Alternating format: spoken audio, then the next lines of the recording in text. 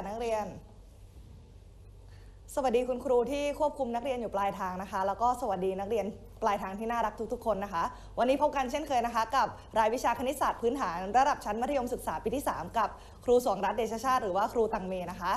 ก็วันนี้นะคะเราก็ยังอยู่กันในหน่วยการเรียนรู้เดิมนะคะ ก็คือหน่วยการเรียนรู้ที่สองนะคะเรื่องความน่าจะเป็นเก่งมากถูกต้อง และ เนื้อหาของเราก็ยังอยู่ในเรื่องเดิมอีกจำได้ไหมว่าเรื่องอะไร ชื่อเรื่องอ้าวหลายๆคนตอบถูกมีคนเกือบถูกผิดไปคำสองคำแค่นั้นเอง การทดลองสุ่มและเหตุการณ์นะเราเรียนเรื่องนี้เป็นครั้งทีสี่ 4 แล้ว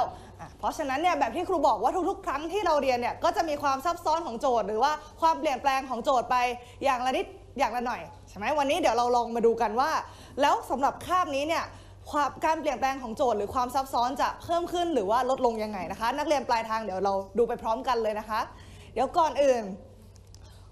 ครูขอ ถามนักเรียนก่อนดีกว่า มีใครพอจะยกตัวอย่างตัวอย่างในชีวิตประจำวันให้ครูได้บ้างไหม ว่าเราเจออะไรที่มันเป็นเกี่ยวกับการทดลองสุ่ม หรือว่าเหตุการณ์บ้างในชีวิตประจำวันจริงๆแจกแต้มดีกว่าอ้าวยกคนแรกเลย ให้นะคะให้นะอะกลุ่มที่ 3 ตัวอย่างในชีวิตประจำวันว่า อะไรที่เป็นการทดลองสุ่มและเหตุการณ์บ้างเอาชีวิตประจำวันเราจริง ๆ เลยนะ ค่ะ สวัสดีค่ะ หนูชื่อเด็กหญิงน้ำทิพย์คำหนองว่านะคะ เป็นตัวแทนจากกลุ่ม 3 ค่ะ ตัวอย่างในชีวิตประจำวันที่เกี่ยวกับการทดลองสุ่ม ก็เช่น การเสี่ยงเซียมซีค่ะ การเสี่ยงเซียมซี หรือไม่ก็เวลาเล่นเกมเศรษฐีก็ต้องถอยลูกเต๋าค่ะ อ่าเล่นเกมเศรษฐีก็ต้องทอยลูกเต๋าใช่ไหม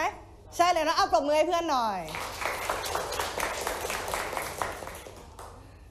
เก่งมากค่ะอะเอาใหม่เอาใหม่มีสองกลุ่มยกมือครูมองไม่ทัน เดี๋ยวให้ครูแอนช่วยดูนะเอามือจับหูนะหนึ่งสองสามกลุ่มที่หนึ่งค่ะอะกลุ่มที่หนึ่งเอาแบบไม่ซ้ำกับเพื่อนนะอะลองดูสิว่ามีอะไรบ้าง สวัสดีค่ะ หนูชื่อเด็กหญิงนวราบัวเจริญค่ะ เป็นตัวแทนจากกลุ่มที่หนึ่งค่ะ เหตุการณ์ที่เรื่องในชีวิตประจำวันนะคะ ก็คือ การซื้อสลากกินแบ่งรัฐบาลค่ะ การซื้อสลากกินแบ่งรัฐบาล อ้าว อันนี้การทดลองสุ่มแน่นอนใช่ไหมอะปรบมือให้เพื่อนหน่อยค่ะ อะ ออกมารับแต้มด้วย มีใครอยากตอบอีกไหมว่าชีวิตประจำวันหนูมียังไงบ้างนะคะอะมากลุ่มที่สี่ค่ะไหนดูซิว่ามีอะไรบ้างที่แตกต่างจากเพื่อนๆค่ะ ในการจับของขวัญค่ะ จับของขวัญไอะอย่างวันคริสต์มาสใช่ไหมต้องสุ่มจับของขวัญมาอ้าวได้ปรบมือให้เพื่อนหน่อยค่ะมาจับเอารางวัลด้วย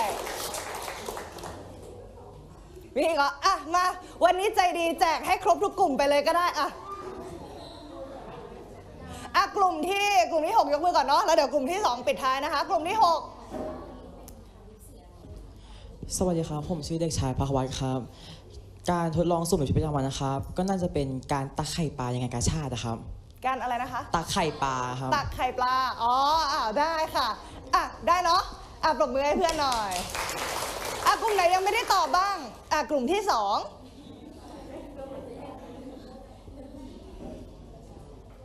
สวัสดีค่ะ ดิฉันชื่อเด็กหญิงจจุนีชื่นเมืองค่ะ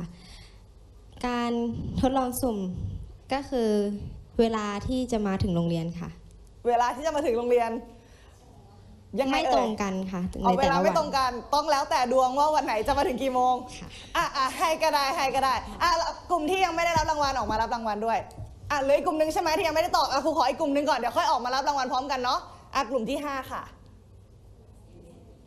สวัสดีค่ะ ชื่อเพญพิชาค่ะ การทดลองสุ่มในชีวิตประจำวันก็คือการหมุนตู้กาชาปองค่ะ หมุนตู้กาชาปองอะเราไม่รู้เลยว่าเราจะได้ตัวไหนออกมาอะได้อะปรบมือให้เพื่อนหน่อยออกมารับรางวัลทุกกลุ่มเลยอะอะออกมารับแต้มเลยค่ะกลุ่มไหนยังไม่ได้ออกมารับแต้มบ้างโอเค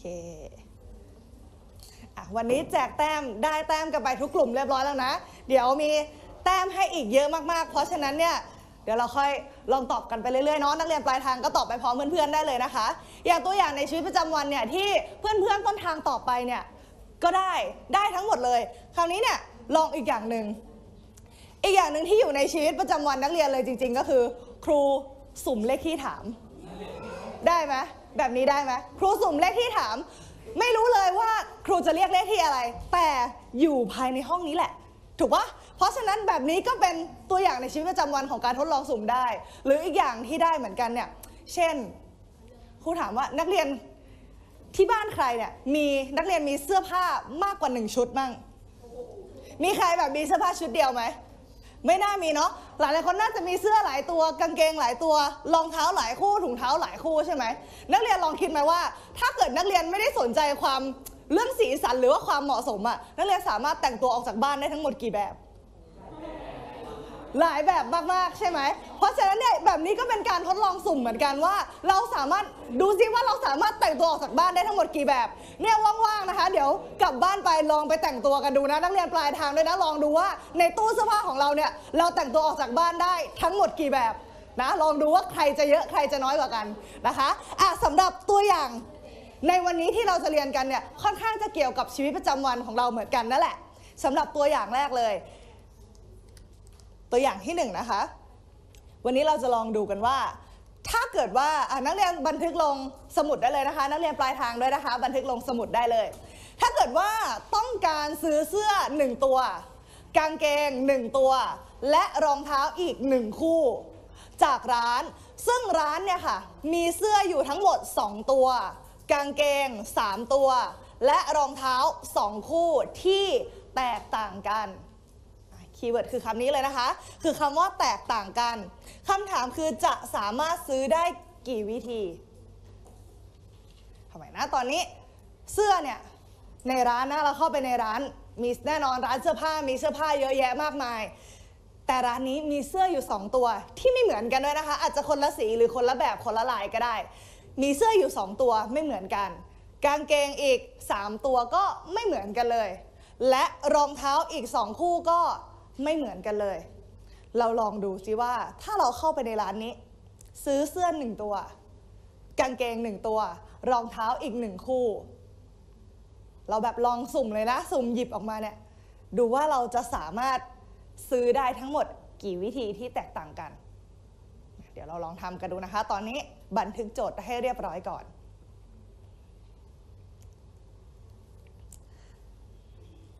แบบที่บอกนะ ตอนนี้ keyword ของเราคือมันแตกต่างกันนะคะ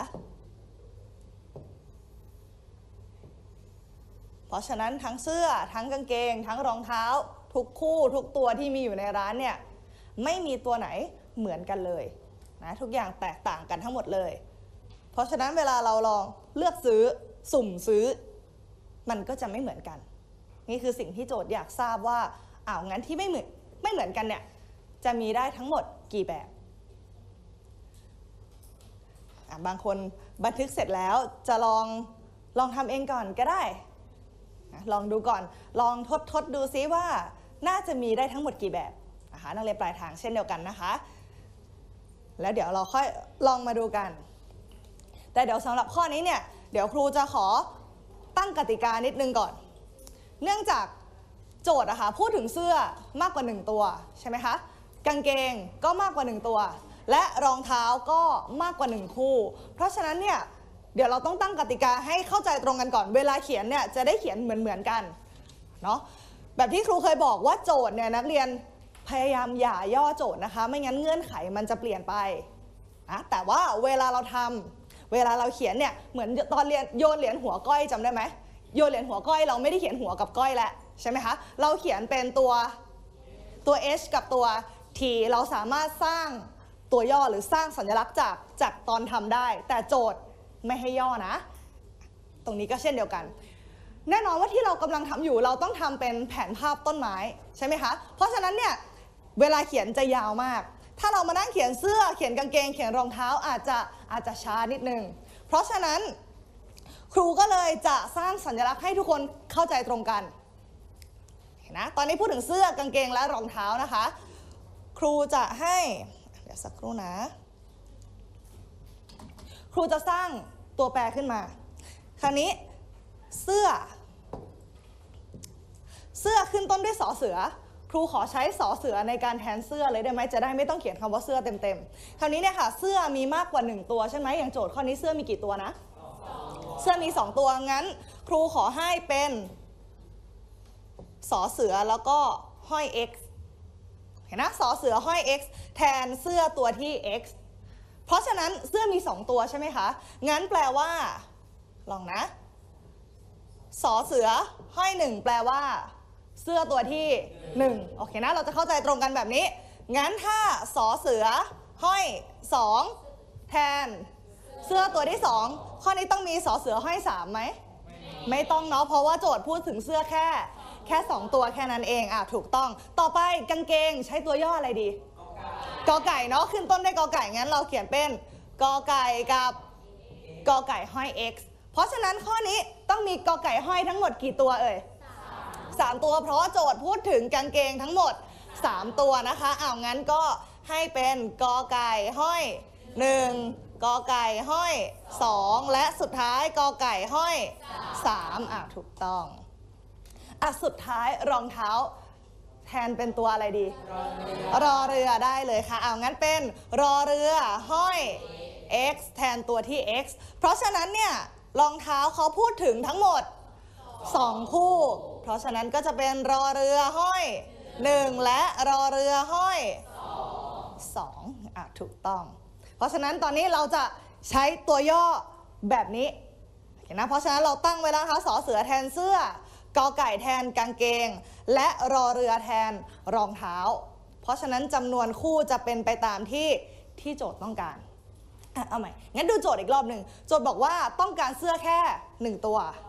กางเกงแค่ 1 ตัว และรองเท้าแค่ 1 คู่ โจทย์อยากได้แค่อย่างละหนึ่งแค่นั้นเอง ถามว่าเขาจะสามารถซื้อได้กี่วิธีที่ต่างกัน เพราะฉะนั้นในกระบวนการทำแบบที่ครูบอกว่า เราก็จะทำในลักษณะเดิมก็คือแผนภาพต้นไม้หรือการแจงนับทันนะคะ แต่ครั้งนี้เนี่ยซื้อทั้งเสื้อซื้อทั้งกางเกงและรองเท้าเลยอะเดี๋ยวเราลองมาดูกันเนาะว่า จะเขียนในลักษณะแบบไหน ตรงนี้นักเรียนบันทึกเสร็จหรือยังเอ่ยเสร็จแล้วนะคะ เรียบร้อยนะอะปลายทางครูเปลี่ยนแล้วนะคะ งั้นเราลองดูดีกว่าเมื่อกี้ขอเขียนไว้ก่อนได้ไหมครูกลัวตัวเองจะลืม เราพูดถึงเสื้อกี่ตัวนะ เสื้อมีทั้งหมด 2 ตัวใช่ไหมคะ กางเกงมีทั้งหมด 3 ตัว และอะและรองเท้าทั้งหมดกี่คู่เอ่ย กางเกง 3 ตัว และรองเท้า 2 คู่ เราต้องเลือกทั้งหมดเลย เพราะฉะนั้นเนี่ยต้องเลือกซื้อทั้งเสื้อกางเกงรองเท้า เวลาเลือกเนี่ยลักษณะคล้ายๆเดิม เหมือนกับตอน ตอนโยนลูกเต๋านั่นแหละโยนลูกที่ 1 โยนลูกที่ 2 โยนลูกที่ 3 ไล่ไป ตอนนี้พูดถึงเลือกซื้อเสื้อกางเกงและรองเท้าใช่ไหมคะ เราก็ไล่ทำเลย สิ่งแรกที่พูดถึงคือเสื้อใช่ไหม เพราะฉะนั้นเวลาเราเลือกเราก็เลือกที่เสื้อก่อน เสื้อมีกี่ตัวนะสองตัว เพราะฉะนั้นแปลว่าเราสามารถเลือกซื้ออะไรได้บ้าง ผลลัพธ์ทั้งหมดที่สามารถได้มาจากการซื้อเสื้อเนี่ยมีทั้งหมด 2 แบบถูกไหมคะเพราะฉะนั้น สิ่งที่เป็นไปได้คือ เสื้อตัวที่ 1 และเสื้อตัวที่2อะเอาแค่ตรงนี้ก่อนทันหรือเปล่า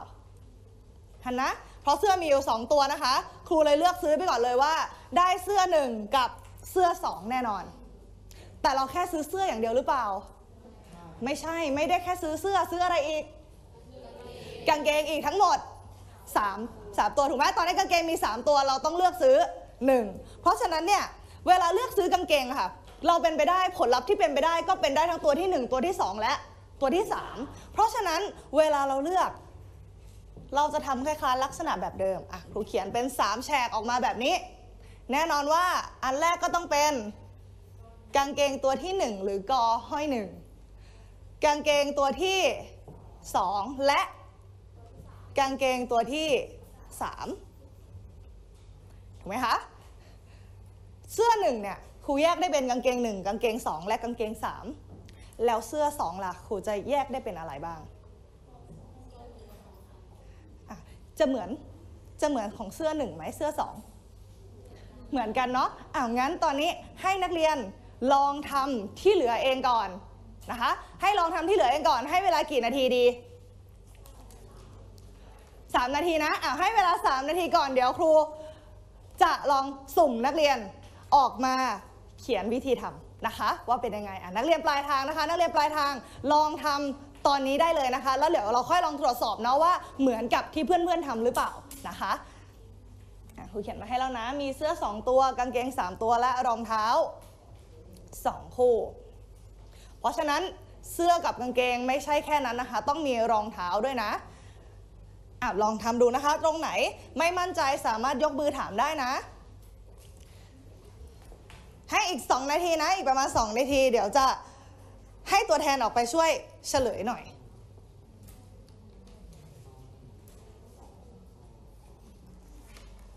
โอเคถูกต้องเลยได้ไหมเอ่ยอะเก่งมาก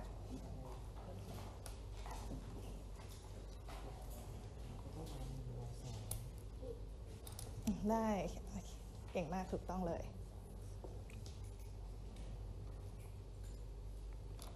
ะ ระวังพื้นที่อาจจะจำกัดนิดนึง นักเรียนสามารถเขียนให้ห่างๆกันได้นะคะได้ไหมเข้าใจไหมเอ่ยเสื้อก่อนเสื้อก่อนอันนี้อันนี้สอเสือใช่ไหมอ๋อโอเคครูผมเป็นรอเรืออะค่ะ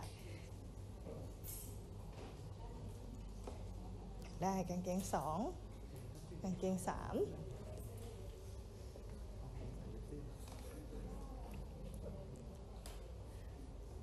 บางส่วน บางคนทำเสร็จแล้ว นักเรียนสามารถใส่สีสันสวยงามได้เลยนะคะ นักเรียนปลายทางเช่นเดียวกันนะคะ สามารถเลือกใช้สีได้ตามที่ชอบได้เลยนะคะไหมเอ่ยอะถูกต้องอะเก่งมาก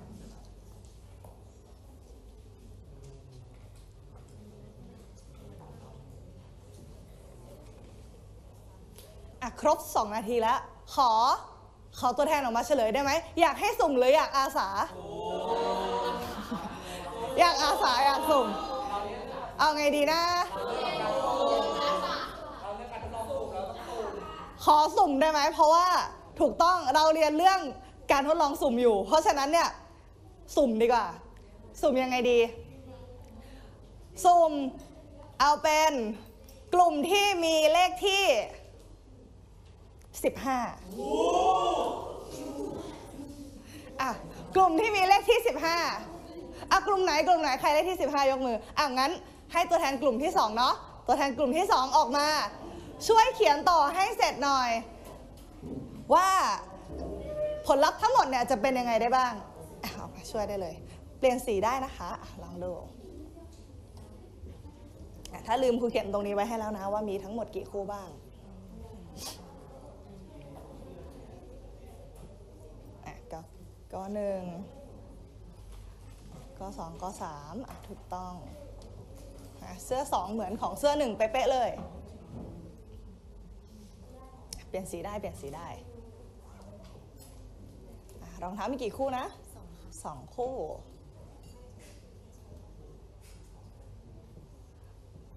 รอหนึ่งถูกต้อง อะ เก่งมาก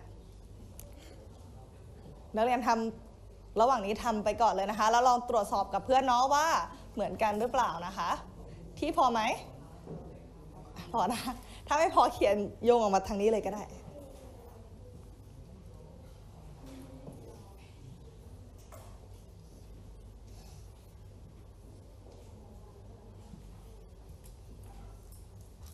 อะฝากเขียนสรุปด้วยเลยได้ไหมอะได้ ฝากเขียนสรุปด้วยเอาไปสองแต้มเลย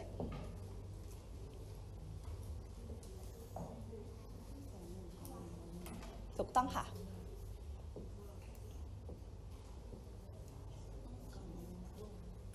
อันนี้ไม่ ต้องเขียนก็ได้เพราะมันเป็นตัวย่ออยู่แล้วสอหนึ่งกหนึ่งรอหนึ่งเลย อะ ถูกต้อง นักเรียนเขียนสรุปผลลัพธ์ด้วยนะคะ จากการซื้อเสื้อกางเกงรองเท้าเนี่ยว่าผลลัพธ์ที่ได้เนี่ยเป็นยังไง เพราะเราต้องซื้อทั้งหมด 3 อย่างใช่ไหม เราจะตอบแค่เสื้อหนึ่งกางเกงหนึ่งแบบนี้ไม่ได้นะคะ ก็ต้องตอบให้ครบทั้งเสื้อกางเกงแล้วก็รองเท้าเลยอะแบบที่เพื่อนกำลังทำอยู่นะคะ ถูกต้องเลย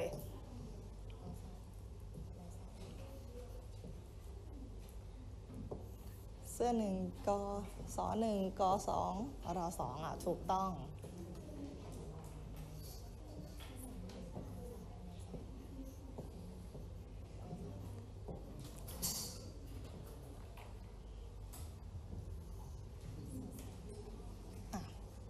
อันนี้ขึ้นสอสองแล้วรอหนึ่งอะ ถูกต้องค่ะ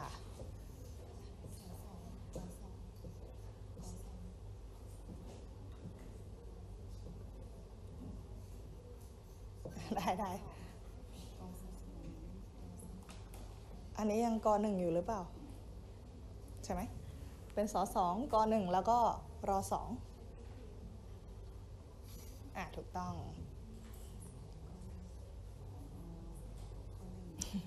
เอาใหม่เขียนกอไก่ดีๆ เดี๋ยวเพื่อนงง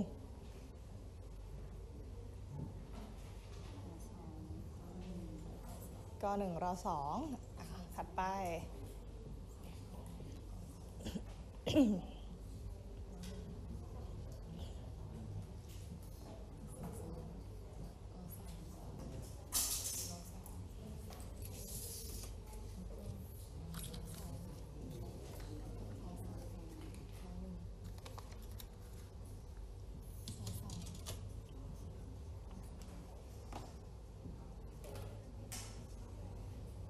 ้ไหม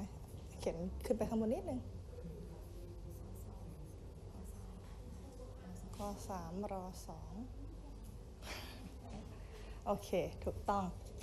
อ้าวเก่งมากนะคะอะปรบมือให้เพื่อนหน่อยค่ะ เอาไปสองแต้มเลยอะเพื่อนเขียนมาอะเพื่อนเขียนสรุปให้เรียบร้อยแล้วด้วย ครูขอถามนักเรียนนิดนึง ถ้าครูถามว่าผลลัพธ์ทั้งหมดที่เป็นไปได้ จากการซื้อเสื้อหนึ่งตัว กางเกงหนึ่งตัว และรองเท้าหนึ่งคู่เนี่ยมีทั้งหมดกี่แบบ 12 แบบ 12 แบบเวลานับคือเรานับจากสุดท้ายที่เราสรุปใช่ไหมคะ มีทั้งหมด 12 แบบพอดี ถ้าครูถามว่ามีอะไรบ้าง นักเรียนต้องตอบตั้งแต่เสื้อหนึ่งกางเกงหนึ่งรองเท้าหนึ่งเสื้อหนึ่งกางเกงหนึ่งรองเท้าสองแล้วก็ไล่ไปเรื่อยๆ จน เสื้อสองกางเกงสามรองเท้าสองทันนะ เพราะฉะนั้นนักเรียนต้องตอบให้ตรงคำถามด้วยนะคะอ้าวงั้นถ้าครูถามว่า ให้นักเรียนดูให้หน่อยว่า เหตุการณ์ที่ที่เราซื้อเนี่ยนะ เหตุการณ์ที่ครูสุ่มซื้อได้รองเท้าคู่ที่สาม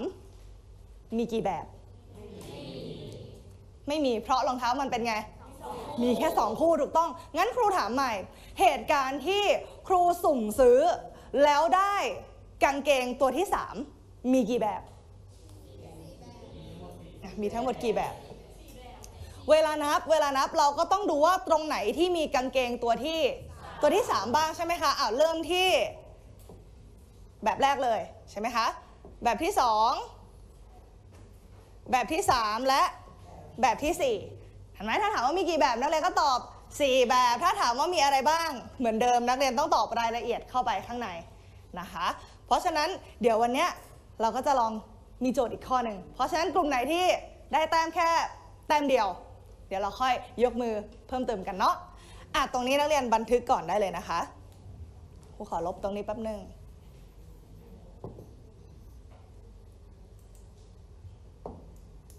รองเท้าคู่ที่สองเอาใหม่รองเท้าคู่ที่สองตรงนี้นักเรียนบันทึกเรียบร้อยหรือยังเอ่ย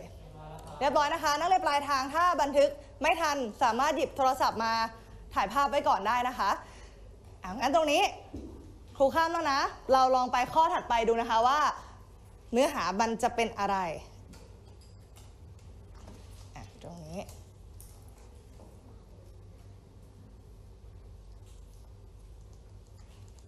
ผลลัพธ์ทั้งหมดมี 12 แบบ อะ ตรงนี้ครูขอนิดนึงก่อน ปกติครูจะบอกให้นักเวลานักเรียนตอบ ครูจะบอกให้นักเรียนอะใส่เป็น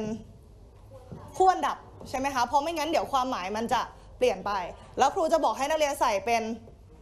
เป็นเครื่องหมายจุลภาคหรือว่าลูกน้ำตลอดเลย แต่ข้อนี้สังเกตว่าเราได้เขียนไหมข้อนี้เราไม่ได้เขียนที่เราไม่ได้เขียนเนี่ยเพราะว่าตอนนี้เราเราเหมือนกับว่าเราสร้างเป็นเราสร้างเป็นสัญลักษณ์ขึ้นมาเรียบร้อยแล้ว เพราะฉะนั้นสัญลักษณ์อะค่ะเราไม่สามารถอ่านสอหนึ่งกสองรอหนึ่งให้มันเป็นคำได้ ถูกไหมมันเป็นสัญลักษณ์อยู่แล้ว เพราะฉะนั้นถ้ามันเป็นสัญลักษณ์อยู่แล้ว อนุโลมให้ไม่ต้องเขียนในรูปคู่อันดับก็ได้ นะคะ แต่ถ้าเกิดเป็นตัวเลขต้องเขียนไหม เขียน ถูกป่ะ เป็นตัวเลขต้องเขียนแน่นอน ไม่งั้นเดี๋ยวความหมายมันจะผิดเพี้ยนไปนะคะอะตรงนี้ แต่ว่าถ้าใครจะเขียนเป็นคู่อันดับมาก็ได้นะคะ ไม่ผิดนะ แต่ถ้ามันเป็นตัวย่อหรือเป็นตัวอักษรที่เราสร้างขึ้นมาแล้วเนี่ย อนุญาตให้ไม่ต้องเขียนในรูปควรดับได้นะคะอะต่อไป ตัวอย่างที่สองอะตัวอย่างที่สองนักเรียนบันทึกโจทย์ลงสมุดได้เลยนะคะ เดี๋ยวเราลอง อธิบายโจทย์ไปพร้อม ๆ กันนะนักเรียนปลายทางบันทึกโจทย์เลยนะคะ แล้วก็ฟังคำอธิบายโจทย์ไปพร้อม ๆ กันเนาะตัวอย่างที่ 2 การสุ่มเลือกนักเรียน 2 คน เพื่อร่วมกิจกรรมหน้าชั้นเรียนเอาเหมือนที่ครูยกตัวอย่างเมื่อกี้เลยใช่ไหมการการทดลองสุ่มที่อยู่ในชีวิตประจำวันเรา แน่นอนเลยครูเรียกนักเรียนออกมาบ่อยมาก การสุ่มเลือกนักเรียน 2 คน เพื่อร่วมกิจกรรมหน้าชั้นเรียน จากนักเรียนจำนวน 5 คน อนนี้นะมีนักเรียน 5 คน ครูอยากได้ 2 คน คราวนี้นักเรียนที่ 5 คนเนี่ยมีชื่ออะไรบ้างเอาเราลองมาดูกันนะคะ มีเด็กหญิงแอนชื่อคุณคุณไม่เด็กหญิงแอน มีเด็กหญิงสวย มีเด็กชายนัทมีเด็กชายที และเด็กชายภูมิ จงหาผลลัพธ์ทั้งหมดของเหตุการณ์ต่อไปนี้อะงั้นแปลว่าเดี๋ยวต้องมีโจทย์เพิ่มเติมแน่นอน แต่ตอนนี้ครูขอโจทย์เท่านี้ก่อน ยังไม่ให้โจทย์เพิ่มเติมนะ เดี๋ยวมีเดี๋ยวมีโจทย์เพิ่มเติมแน่นอนเอาเท่านี้ก่อน เพราะฉะนั้นลักษณะการทำของเราอะค่ะเหมือนเดิมเลย วิธีการทำของเราแน่นอนว่า เราต้องใช้แผนภาพต้นไม้แม้เราต้องใช้แผนภาพต้นไม้เข้ามาช่วย เพราะฉะนั้นเนี่ยเดี๋ยวไม่ว่าข้างล่างถัดไปจากเนี้ยจะมีโจทย์เพิ่มเติมยังไง สุดท้ายเราก็จะเอาจากแผนภาพต้นไม้มาตอบอยู่ดีเนาะเพราะฉะนั้นตอนนี้ยังไม่จำเป็นที่จะต้องสนใจด้วยซ้ำว่าโจทย์เพิ่มเติมจะเป็นอะไรนะคะ เดี๋ยวเราค่อยลองทำพร้อมกันดูก่อนครูเขียนชื่อเด็กหญิงกับเด็กชายไว้ข้างหน้า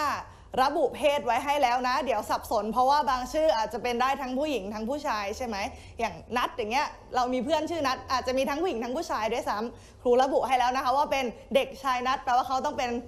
ผู้ชายนะคะอะแบบที่บอกนะครูไม่ให้ย่อโจทย์นะ เด็กหญิงเด็กชายก็ต้องเขียนนะคะ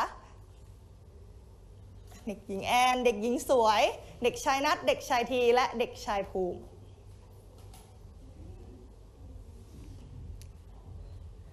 เดี๋ยวเราลองพร้อมกันดูอะไม่เป็นไรนะคะ ตอนนี้ให้บันทึกก่อนนะ นักเรียนปลายทางก็บันทึกไปก่อนได้เลย แล้วเดี๋ยวเราค่อยลองมาทำพร้อมกันเนาะอยากให้อยากอาสาออกมาช่วยทำหรืออยากให้สุ่มเหมือนเดิม สุ่มเหมือนเดิม ได้ได้สุ่มเหมือนเดิมนะเราทดเราเรียนเรื่องการทดลองสุ่มอยู่เนาะ เพราะฉะนั้นเราต้องสุ่มต่อไป ปกติเห็นชอบอาสามากกว่าทำไมครั้งนี้อยากให้สุ่มแล้วอะตื่นเต้นดีอะได้ตื่นเต้นก็ได้ แล้วถ้าออกมาเป็นกลุ่มที่สองเหมือนเดิมจะยอมให้เพื่อนออกมาอีกไหมอะแล้วเราจะสุ่มยังไงล่ะเนี่ยทำไมไม่ยอม ยอมกลุ่มที่สองยอมกลุ่มอื่นไม่ยอมอะเดี๋ยวลองดูกันเดี๋ยวลองดูกัน บันทึกเรียบร้อยหรือยังเอ่ยเรียบร้อยนะคะ เดี๋ยวจะมีโจทย์ข้างล่างต่อนะ แต่ตอนนี้ครูยังไม่ให้โจทย์ข้างล่างไป เราจะไปทำแผนภาพต้นไม้ก่อน แล้วเราค่อยลองมาดูว่าที่โจทย์ถามอะจะตอบแบบไหนได้บ้าง เพราะคำตอบของเราต้องมาจากแผนภาพต้นไม้นะคะงั้นจากตรงนี้ค่ะนักเรียน เราลองอ่านโจทย์พร้อมกันอีกรอบหนึ่งนะ ถ้าเกิดว่าต้องการสุ่มนักเรียน 2 คน จากนักเรียนทั้งหมด 5 คน มี 5 คน ครูสุ่ม 2 คน จากคนเหล่านี้ผลลัพธ์ทั้งหมด ครูถามก่อนว่าที่ครูอยากได้นักเรียนออกมาทำกิจกรรม 2 คนเนี่ย ครูจะเลือกยังไง ครูเลือกคนหนึงออกมายืนก่อน แล้วค่อยเลือกอีกคนหนึงมา หรือครูเลือกคนหนึงมายืนก่อน แล้วเอาเขากลับเข้าไป แล้วเอามาอีกหนึ่งคน เหมือนตอนลูกปิงปองจำได้ไหม หรือเราจะทำยังไงดี นักเรียนคิดว่าถ้าจากโจทย์แค่เนี้ยเราควรจะเลือกคนออกมายังไงดี เวลาเรียกแบบนี้นะคะ เราจะถือว่าเลือกมาพร้อมกัน 2 คนเลยโอเคนะเราจะถือว่าเลือกมาพร้อมกัน 2 คนเลย เพราะฉะนั้นการเลือกมาพร้อมกัน 2 คนเลย แปลว่า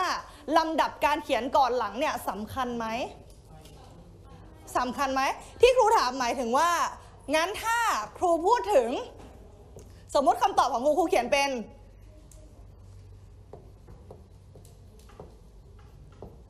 เป็นแอนกับนัดไปแล้ว สมมุตินะ ครูเขียนแอนกับนัดไปแล้ว ครูต้องตอบนัดกับแอนอีกไหมคะไม่ต้องเออครูต้องตอบนัดกับแอนอีกไหมคิดว่าต้องไหมไม่ต้องนะ ถ้าเราตอบแอนกับนัดไปแล้ว ไม่ต้องตอบนัดกับแอนอีกนะคะ เพราะว่าเลือกมาพร้อมกัน 2 คนถูกไหม มันแล้วแต่เราว่าเราจะพูดถึงชื่อคนไหนขึ้นก่อนก็ได้นะคะ เพราะฉะนั้นนักเรียนจะเลือกตอบแอนกับนัดหรือนัดกับแอนก็ได้ แต่เลือกตอบแค่ แบบเดียวก็พอแล้ว ทันนะ เพราะฉะนั้นเลือกแค่แบบเดียว อ้าวงั้นเดี๋ยวเราลองมาดูกันอะครูขอเขียนชื่อไว้ก่อนนะ ตอนนี้มีเด็กหญิงแอนวันนี้เด็กหญิงแอนก็จะโดนเรียกชื่อบ่อยนิดนึงนะคะ เด็กหญิงสวยแป๊บหนึ่ง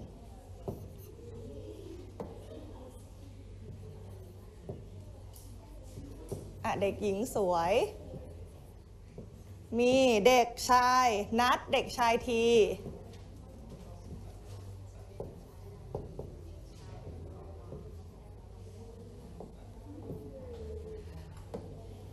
เด็กชายที และสุดท้ายคือ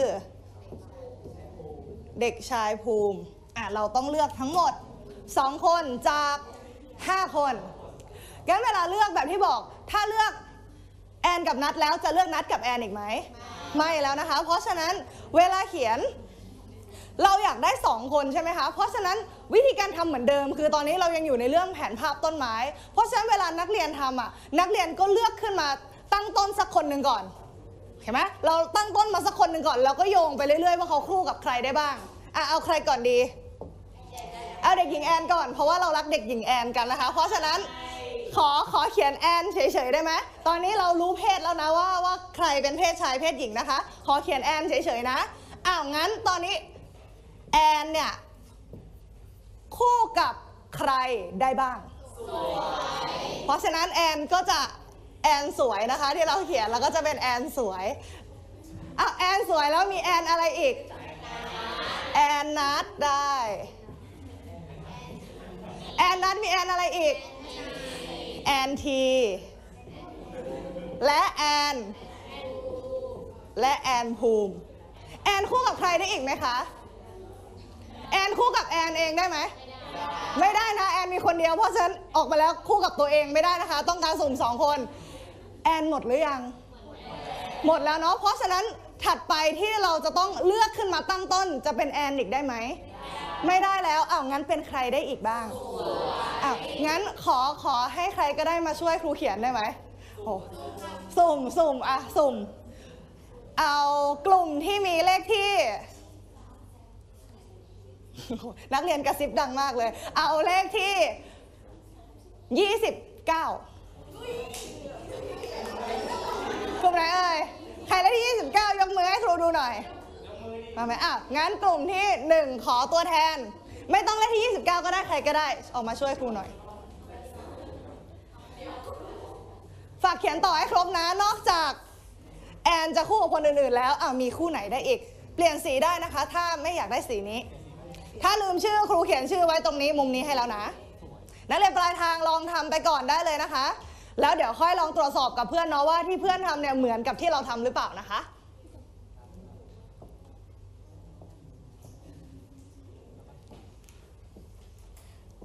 สวยกับนัด สวยกับที สวยกับภูมิอะอีกสักคนหนึ่งสวยคู่กับใครได้อีกไหมตรงนี้ หมดแล้วครับ หมดแล้วอะงั้นใครต่อไปได้อีก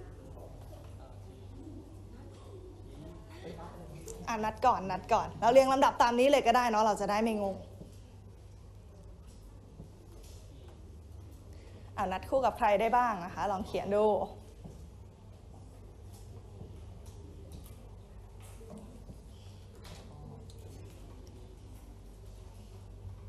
ครูฝากเว้นห่างนิดนึงเดี๋ยวตรงนั้นไว้ให้เพื่อนสรุป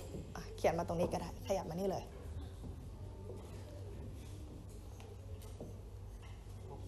เหลือที่กับเหลือที่กับภูมิอะโอเคอะปรบมือให้เพื่อนหน่อยค่ะเอาไปสองแต้มเลยอะงั้นขออีกสักอีกสักกลุ่มหนึ่งได้ไหมออกมาเขียนผลลัพธ์รวมให้หน่อย สุ่มสุ่มแล้วกันวันนี้สุ่มสุ่มแล้วต้องสุ่มให้สุด ต่อไปเอากลุ่มที่มีเลขที่ 21 เพราะครูเคยเลือกที่ 21 มาก่อนครูเลือกเลขที่ 21 แล้วกัน กลุ่มที่ 5 ใช่ไหมอะกลุ่มที่ 5 ฝากเขียนผลลัพธ์รวมให้หน่อยว่า เป็นใครได้บ้าง ตรงนี้ฝากนักเรียนคะเวลาเขียนตรงเนี้ยให้เขียนในรูปคู่อันดับนะ เพราะว่ามันเป็นคำภาษาไทยเราไม่ได้ใช้ตัวย่อใช่ไหม ไม่งั้นถ้าเกิดเขียนติดกันอะเดี๋ยวเราจะงงเองว่า เอ๊ะคำนี้ที่เราเขียนเนี่ย อ่านว่าอะไรนะคะถูกไหมอะอันแรก อันแรกคืออะไรเอ่ย แอนสวยนะคะ แอนสวย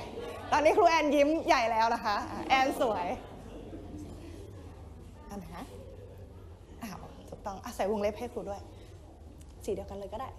โอเค ขอบคุณค่ะ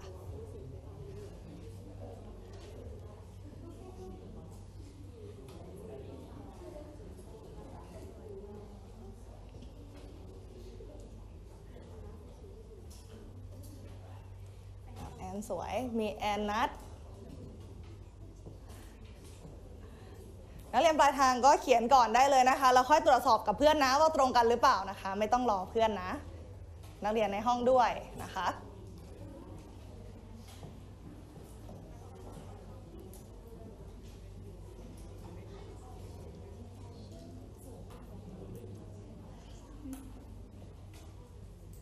อะมีแอนภูมิ โอเค ถัดไปต่อไปก็ขึ้นของสวยแล้ว เพราะฉะนั้นแบบที่ย้ำไปเนาะสังเกตเนาะเราเขียนแอนกับสวยไปแล้ว เพราะฉะนั้นไม่ต้องเขียนสวยกับแอนอีก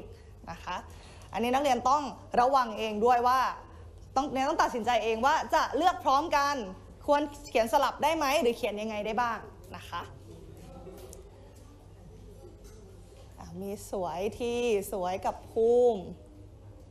อะถูกต้อง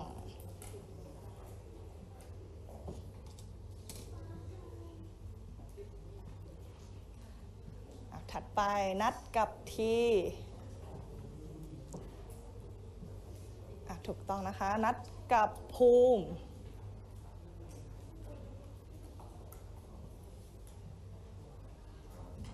และคู่สุดท้ายของเรา ที่พอไหม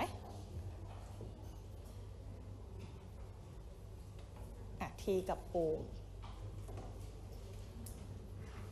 อะถูกต้องครบถ้วนปรบมือให้เพื่อนหน่อยค่ะอะเอาไปสองแต้มเลย นักเรียนคะงั้นครูถามว่าผลลัพธ์ทั้งหมดที่เป็นไปได้ จากการที่ครูสุ่มเลือกนักเรียนออกมา 2 คนจาก 5 คน มีทั้งหมดกี่แบบ 10 แบบ แต่ถ้าถามว่ามีอะไรบ้าง ต้องตอบเป็นคู่อันดับตั้งแต่แอนสวย แอนนัดแอนทีไล่ไปเรื่อยๆ จนถึงทีภูมินะคะนักเรียนต้องตอบให้ครบเลยนะ อะตรงนี้บันทึกให้เรียบร้อยก่อนเลย เรียบร้อยเรียงเอ่ยตรงนี้ เรียบร้อยนะคะ มีใครยังบันทึกไม่เสร็จไหมไม่มีนะอะปลายทางครับปลายทางถ้าไม่ทันถ่ายรูปไว้ก่อนได้เลยนะคะอะเดี๋ยวเราลองไปดูกันว่า โจทย์ของเราจะเป็นยังไงต่อ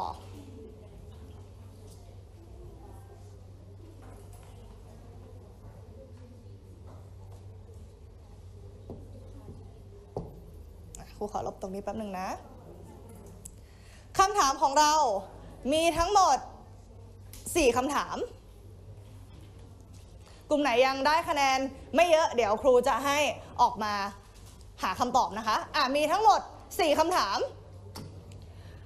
ข้อที่ 1 คือ เหตุการณ์ที่จะสุ่มได้เด็กผู้ชายทั้งสองคน เด็กผู้ชายทั้งสองคน ใช่ไหมครูเลยบอกว่าตอนแรกเนี่ยครูถึงระบุไว้ให้แล้วว่าใครเป็นผู้ชายและใครเป็นผู้หญิงนะคะ ต่อไปเหตุการณ์ที่จะสุ่มได้เด็กผู้หญิงทั้งสองคน ข้อที่ 3 นะคะ เหตุการณ์ที่จะสุ่มได้เด็กผู้ชายอย่างน้อย 1 คน และข้อสุดท้าย เหตุการณ์ที่จะสุ่มได้เด็กผู้ชาย 1 คน และเด็กผู้หญิง 1 คนอะระหว่างนี้ บันทึกโจทย์ก่อนเลยนะคะ แล้วก็ระหว่างนี้ทำไปพร้อมกันได้เลยนะคะ เพราะว่าที่เราทำมาทั้งหมดแผนภาพเมื่อสักครู่ใช่ไหมแผนภาพเมื่อสักครู่เนี่ยคือคำตอบทั้งหมดที่เป็นไปได้แล้ว เวลานักเรียนทำเนี่ยนักเรียนแค่เลือกดูเลยว่าแผนภาพที่นักเรียนเขียนไปเนี่ยอันไหนแผนภาพคู่อันดับไหนที่มันตรงกับสิ่งที่โจทย์อยากได้ เพราะโจทย์อยากทราบว่าเหตุการณ์ที่จะสุ่มได้เด็กผู้ชายทั้งสองคนเนี่ยมีอะไรบ้าง อย่างข้อหนึ่งอย่างเงี้ยเราจะตอบแอนกับสวยได้ไหม ไม่ได้ทำไมถึงไม่ได้คะ ใช่เขาอยากได้ผู้ชายทั้งสองคนอะเพราะฉะนั้นมีกี่แบบล่ะ มีอะไรบ้าง ให้นักเรียนลองทำไปได้เลยนะครูให้เวลา 3 นาทีทันไหมสี่ข้อ ให้ 3 นาทีนะ แล้วเดี๋ยวขอตัวแทนออกมาเฉลยให้ครู ระหว่างนี้ เขียนรอดได้เลยนะคะ นักเรียนปลายทางก็ทำได้เลยนะคะ ตอนนี้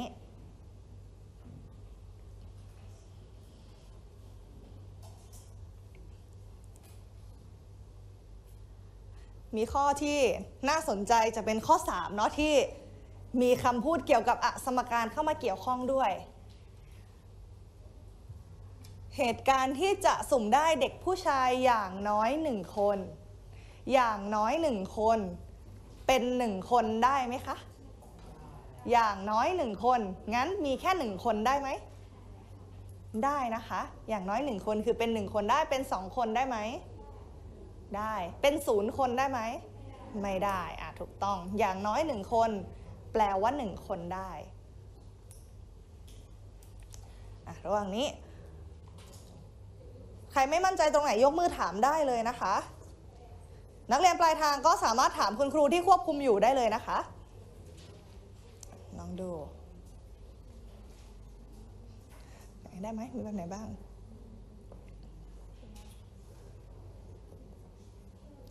อตอบ อะข้อนี้ใช่ไหมข้อนี้ตอบ มีอันไหนบ้างที่เป็นผู้ชายสองคนอะถูกต้อง งั้นก็ตอบเลยว่า นัดกับทีใช่ไหมนัดกับภูมิ และทีกับภูมิ ใช่ ก็ตอบแต่ตอบในรูปควรดับได้เลย เพราะถามว่ามีเหตุการณ์มีอะไรบ้างต้องตอบรายละเอียดเนาะมี 3 แบบเห็นไหมคะโอเคนี่ใส่คู่อันดับให้ครูด้วย ถ้าเราใส่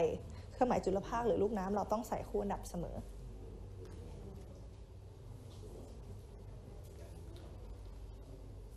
อะถูกต้อง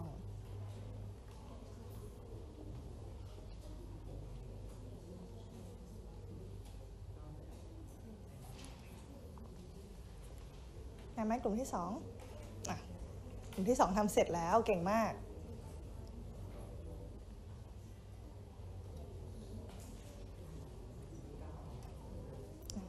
กลุ่มที่ห้าถูกต้อง ได้ค่ะอีกข้อที่สี่คือ ผู้ชายหนึ่งคนผู้หญิงหนึ่งคน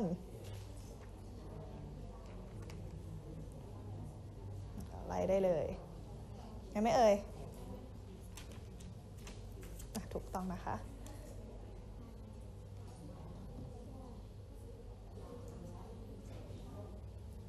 ได้ ต้องตอบให้ครบนะ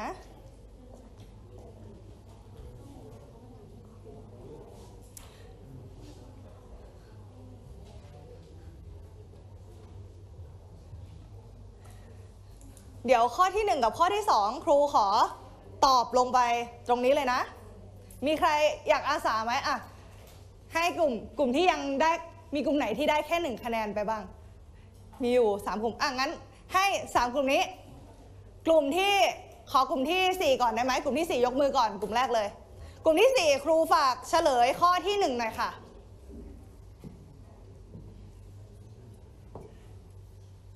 อะข้อที่1นะเหตุการณ์ที่จะสุ่มได้เด็กผู้ชายทั้ง สองคน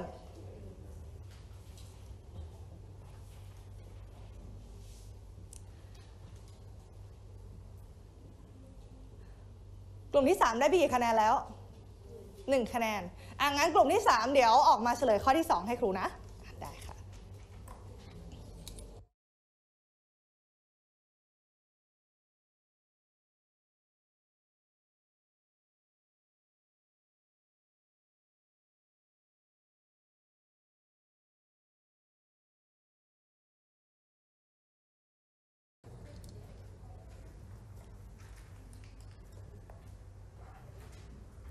มีนัดกับที นัดกับภูมิ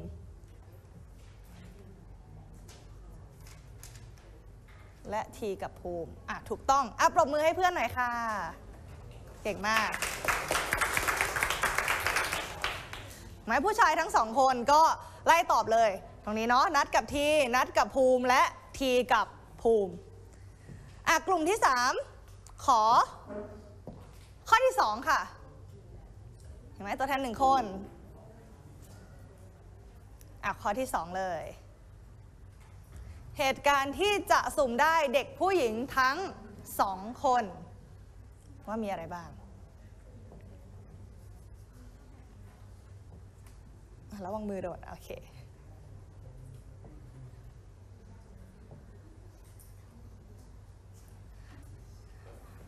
ข้อนี้มีผู้หญิงอยู่แค่ 2 คนอยู่แล้วใช่ไหมมีเด็กผู้หญิงอยู่แค่ 2 คน เพราะฉะนั้นจะมีกี่กรณีเอ่ยที่ ได้ผู้หญิงทั้งสองคน ฝากใส่วงเล็บให้แอนสวยด้วยค่ะ โอเคเอาถูกต้องปรบมือให้เพื่อนหน่อยค่ะเก่งมากอะคราวนี้ข้อ 3 กับข้อ 4คำตอบค่อนข้าง ค่อนข้างเยอะนิดนึง ครูขอไปเขียนคำตอบในในหน้าใหม่นะ มีกลุ่มไหนยังได้คะแนนแค่แต้มเดียวอยู่บ้างอะกลุ่มที่ 6 กลุ่มที่ 6 ขอข้อที่ข้อที่ 3 ได้ไหม ข้อที่ 3 นะคะอะกลุ่มที่ 6 ตัวแทนออกมาเลย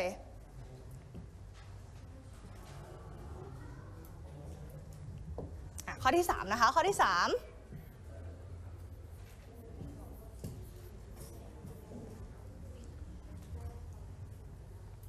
เปลี่ยนสีได้นะ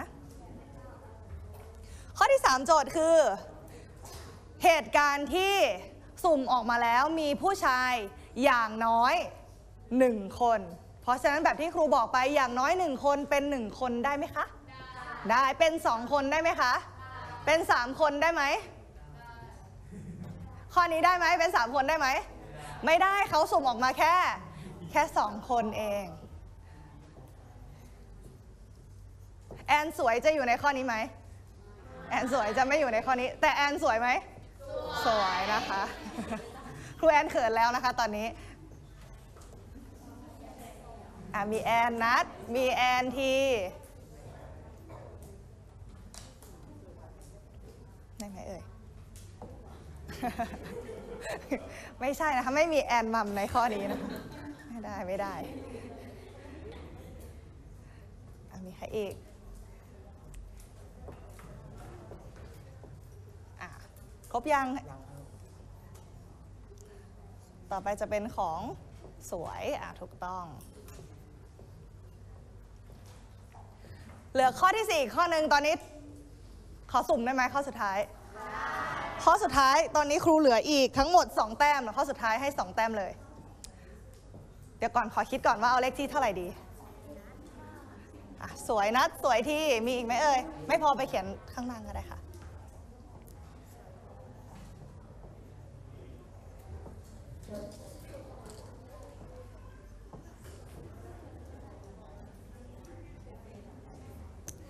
อะมีสวยภูมิ ที่เพื่อนเขียนมาทั้งหมดแอนกับสวยใช่ไหม เป็นผู้หญิงหนึ่งคนผู้ชายหนึ่งคน แต่เขาบอกว่าอย่างน้อยหนึ่งคนใช่ไหมมีผู้ชายอย่างน้อยหนึ่งคน เพราะฉะนั้นผู้ชายสองคนก็ก็เป็นคำตอบด้วยถูกต้อง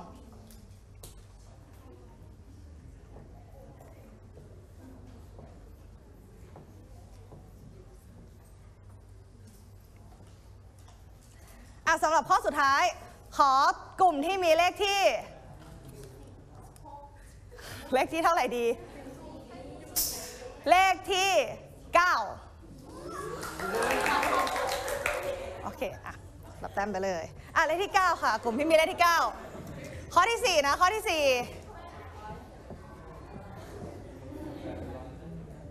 อ้าว มา ด้วยความรวดเร็วเลย ได้เขียนด้านนี้ โอเคผู้ชายหนึ่งคนผู้หญิงหนึ่งคนมีอะไรบ้าง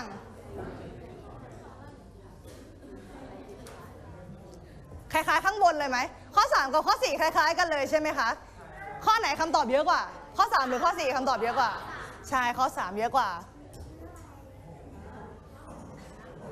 เขียนแอนรอไว้ก่อนเลยอะเขียนแอนรอไว้ก่อน แอนกับทีไอะอย่าลืมเขียนคู่หนับให้ครูนะ ใส่ใส่ใส่คู่หนับให้ครูด้วย อะถูกต้อง ค่ะ แล้วก็วงเล็บข้อบไว้อะถูกต้อง และอ่าได้ค่ะถูกต้อง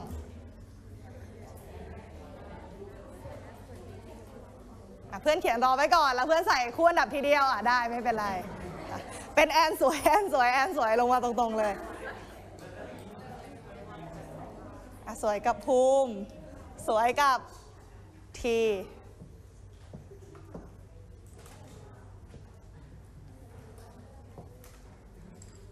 อ้าวครบไหมเอ่ย ครบนะคะอ้าวปรบมือให้เพื่อนหน่อยค่ะ อันนี้ก็เป็นข้อ 3 กับข้อ4เนาะเพราะฉะนั้นของคาบนี้เนี่ยแบบที่ครูบอกว่า เราเริ่มเหมือนกับเป็นตัวอย่างในชีวิตประจำวันมากขึ้นเห็นไหมเพราะฉะนั้นเนี่ยวันนี้เนี่ยครูก็มีตัวอย่างเพียงเท่านี้ มีนักเรียนคนไหนสงสัยตรงไหนบ้างหรือเปล่าเอ่ย ไม่มีนะคะ ถ้าไม่มีงั้นครูขอจบวันนี้แต่เพียงเท่านี้นะคะ แล้วเจอกันใหม่คาบหน้าค่ะ ขอบคุณครับ